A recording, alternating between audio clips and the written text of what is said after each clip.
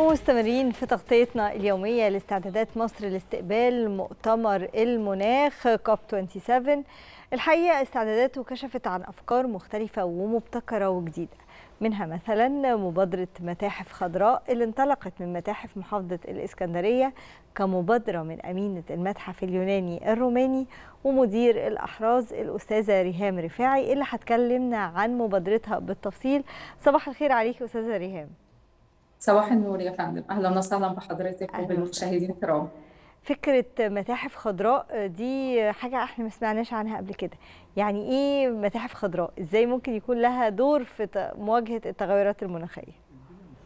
تمام. آه مبادرة متاحف خضراء آه هي كانت مشروع تخرجي من مبادرة كونسبت جدا للتنمية المستدامة اللي أطلقتها وزارة التخطيط والتنمية الاقتصادية والمعهد القومي للحوكمة والتنمية المستدامة. آه، وبعدين بما إني أمينة متحف فقدمت الفكرة آه، لرئيس قطاع المتاحف دكتور مؤمن عثمان. وطبعا رحب بيها جدا خصوصا إن إحنا وإحنا بنستعد للكوب 27 آه، والدولة كلها واخدة الاتجاه نحو الأخضر فلاقت الفكرة قبول كبير لدى آه، رئيس قطاع المتاحف. بدأنا بتنفيذها بالفعل في إيه متاحف هي أصلا اسكندرية. الفكرة يا أستاذة ريهام. قولي لنا هي الفكرة. بتعمل لنا تمام. سسبنس الأول تقريبا. تمام يا فندم.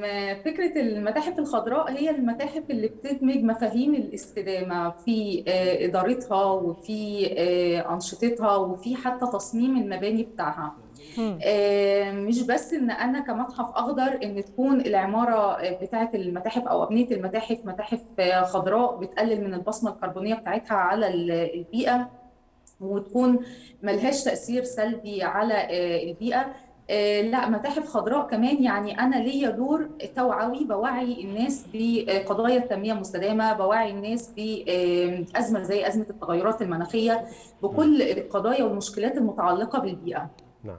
فهي دي الفكرة بتاعت المبادرة. طب إزاي أنا وبالتأكيد يعني أكيد التوعية دي بتتطلب أنشطة مختلفة. فإيه الأنشطة اللي بتقدم بالظبط. ضمن بقى فعاليات متاحف خضراء؟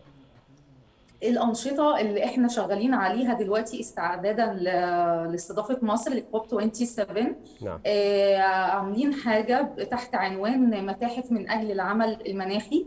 آه، إحنا شغالين في اسكندرية على آه، إعادة تدوير مخلفات المتاحف ومخلفات الأحياء المجاورة للمتاحف. وهندعو كمان زوار المتاحف إن هم يشاركونا بالمخلفات بتاعتهم وبنتعاون مع كلية الفنون الجميلة إن إحنا نعيد تدوير المخلفات دي علشان نعمل بيها مجسمات فنية وتراث- وتراثية ضخمة صح. ال- ال- ال- المجسمات اللي إحنا إن شاء الله هتبقى آه، ناتج من إعادة تدوير المخلفات مخلفات آه، هنحط منها المخلفات اللي هي الصلبة أو المجسمات الصلبة هن- هنزين بيها الشوارع المجاورة لل- للمتاحف. نعم. علشان كمان يعني ندي آه، شكل جمالي للشوارع المحيطة بالمتاحف والناس لما تشوف ال- التماثيل دي أو المجسمات دي وتعرف إن هي آه، ناتجة عن إعادة تدوير المخلفات يبقى عندهم الكونسبت بتاع آه، إن المخلف بتاعي ده فكرة مش الفصل. لازم تكون إن هي حاجة ملهاش قيمة بالعكس. أنا لو رميته فأنا بضر البيئه لكن أنا لو أعدت تدويره مرة أخرى فأنا هستفيد أنا بيه شخصيا وهفيد كمان البيئة. صحيح. هوسع نطاق الاستفادة من المتحف مش بس هحكي حكاية ال- الشكل اللي المتحف قائم عليه لا هبتدي أنشر فكر جديد ووعي جديد. طيب بالظبط.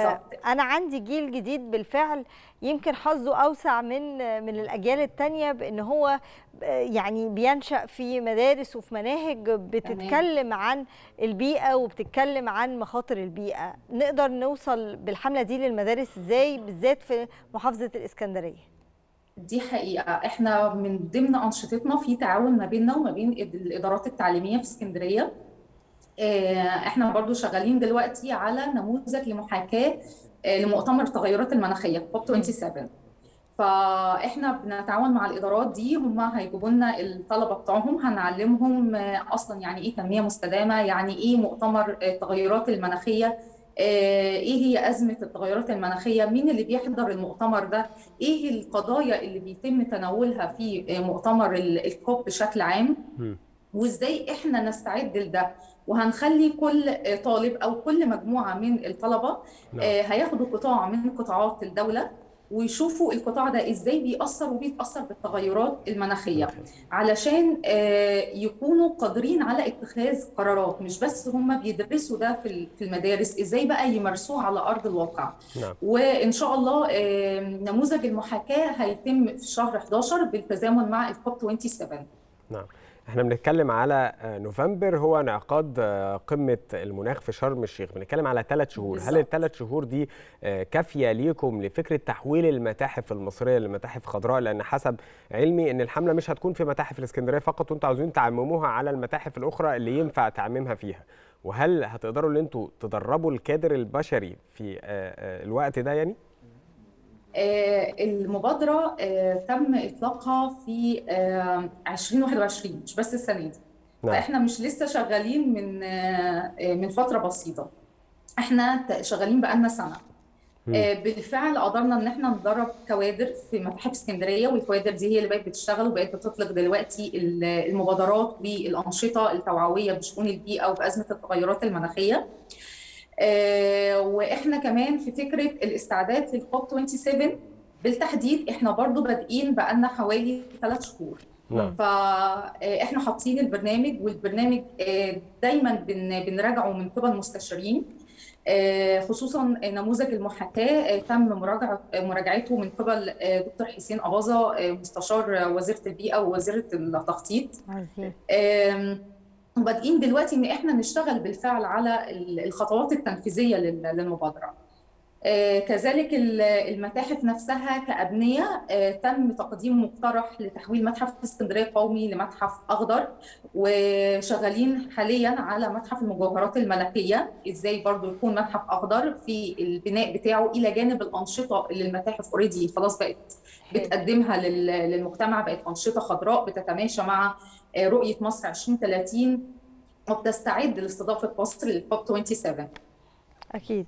كل الشكر ليكي الأستاذة ريهام رفاعي مدير الأحراز بالمتحف اليوناني الروماني ومؤسس حملة متاحف خضراء. شكرا جزيلا ليكي.